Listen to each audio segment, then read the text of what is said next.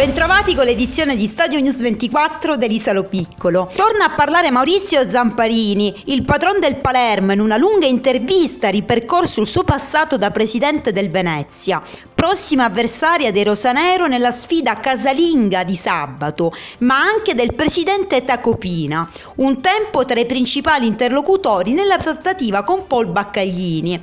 Proprio sull'italo-americano Zamparini fa chiarezza, svelando come l'attuale presidente del Venezia e la sua cordata all'epoca erano troppo inconsistenti affinché comprassero la società di Viale del Fante. Sul Venezia, infine, l'imprenditore dice che nonostante 15 anni passati da presidente dei Lagunari, a causa dell'inclinarsi proprio del rapporto con la tifoseria, non si emozionerà più di tanto al momento del match al Barbera. Pavel Davidovic nella giornata di ieri è rientrato a lavorare in gruppo nella consueta seduta di allenamento in vista della sfida casalinga. Il calciatore polacco si era fermato per un infortunio muscolare nella partita contro il Carpi. Spetta dunque adesso a mister Tedino decidere se Davidovic potrà essere impiegato dal primo minuto o a partita in corso.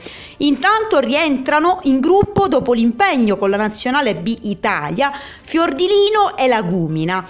Ancora a parte Belusci, Monachello e Struna. Infine, brutte notizie per il Palermo Primavera. I rosanero sono stati battuti dalla Roma per 2 reti a 1 nella gara valida per gli ottavi di Coppa Italia.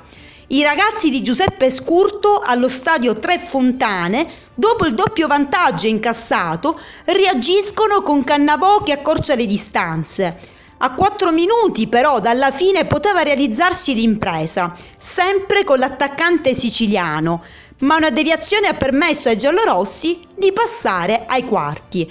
È tutto per questa edizione dell'Isalo Piccolo, appuntamento alla prossima.